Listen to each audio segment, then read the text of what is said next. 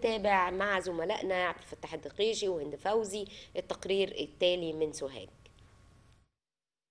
العلمي لقسم الفقه المقارن بكلية الدراسات الإسلامية والعربية للبنات بجامعة الأزهر فرع سوهاج أقيمت فعاليات الندوة التثقيفية الأولى تحت عنوان الأسس الشرعية لاختيار الزوج الصالح وذلك بحضور الأستاذ الدكتور علي عبد الموجود عميد الكلية. والأستاذ الدكتور فاطمة المهدي وكيل الكلية للدراسات العليا وفضيلة الشيخ عبد العاطي مزيد مدير إدارة أوقاف سوهاج وأعضاء هيئة التدريس وعدد كبير من الطالبات. الندوة الأسس الشرعية لاختيار الزوج الصالح يعني نظمها وقدمها. أساتذة القسم الفقه المقارن. حقيقة موضوع مهم موضوع مجتمعي يخص كل أسرة وكل مجتمع. الأسس الشرعية لاختيار الزوج الصالح. إذا فعلا أولياء الأمور أو الأسر ركزت على الأسس الشرعية من خلال الضوابط الشرعية من الكتاب والسنة من حيث مثلا السمعة الطيبة للعائلة من حيث اختيار الزوج الصالح القادر على كسب الحلال على كسب المال من الحلال من حيث الكفاءة في في كل شيء. من الأسس الشرعية التي يعني أهم حاجة الدين والأخلاق. صراحة هذا يعني بهذا ينصلح المجتمع. الكلية بتقدم ندوات كثيرة ليس في مجال مثلا الأسرة وغير ذلك وإنما حتى في مجال العقيدة لتنشر الفكر الوسطي بين بين طالبات الكلية. ومن خلال طالبات الكلية طالبات الكلية لبنه في بناء أسرهم. ومن خلال هذا يشيع الفكر الوسطي. يعني مثلا عندنا ندوة إن شاء الله عن التطرف والإلحاد وأسبابه وطرق علاجه. إن شاء الله عندنا بعد كده ندوة عن عن التكفير برضه أسباب وطرق علاجه. الكلية عاملة خطة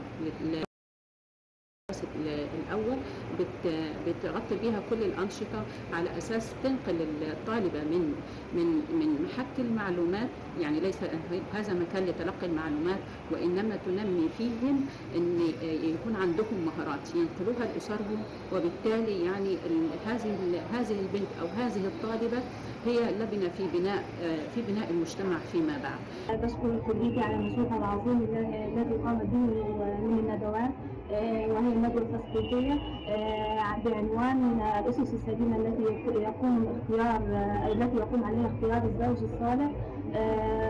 بشكرهم جدا على مجهودهم العظيم. من الأسس اللي هم اختاروا يعني اختاروها لأن يعني منا لم يحتاج لهذه الندوة الكثير من الناس بسبب بسبب ان هو المشاكل التي ظهرت في مجتمع في مجتمعنا المشكلات مؤخرا من المشكلات السلبية فأنا بشكرها إن هي اهتمت بهذا العنوان. كليتنا مش بس بتهتم بالمنشأة التعليمية بس بتهتم كمان بالندوات الثقافية. بشكرهم جدا. شرفت اليوم بحضور الندوة بدعوة كريمة من كلية الدراسات الإسلامية عن اختيار الزوج. والحقيقة دي مش أول يعني مرة الكلية بتهتم بالشؤون الاجتماعية لأن اختيار الزوج من الحاجات المهمة والأساسية في تكوين الأسرة والأسرة هي لبنة المجتمع. والرسول عليه الصلاة والسلام بيقول من جاءكم من ترضون دينه فزوجوه فبناء على ده الاختيار الأمثل للزوج المناسب هتتبني الأسرة وتكون كويسة والمجتمع كله هينهض. بما إن كلية الدراسات الاجتماعية نواه أو مشعل من مشاعل التعليم في المجتمع أو في المجتمع السوهاجي ولها دور بارز ومنارة للعلم في حاجات كتير فهي بتنور عقول البنات الشابات المقبلات على الزواج وبتفهمهم وتوعيهم لاختيار الزوج المناسب وبتجعل كل واحدة منهم سفيرة لأسرتها ولأهلها. إزاي تختار الزوج اللي هو بناء عليه تقوم حياتها فيما بعد ومستقبلها اللي جاي؟ الندوة أكدت أن الاختيار الصحيح للزوج يجب أن يكون مبنيا على أسس علمية وأخلاقية متينة بعيدا عن التسرع في اتخاذ القرار. ويجب أن يكون هناك تكافؤ في المستوى الديني والأخلاقي وتقارب في المستوى الفكري والوعي الثقافي والتقارب في المستوى الاجتماعي والمادي بين الزوجين والتوافق في البيئة التي كان يعيش فيها الزوجين.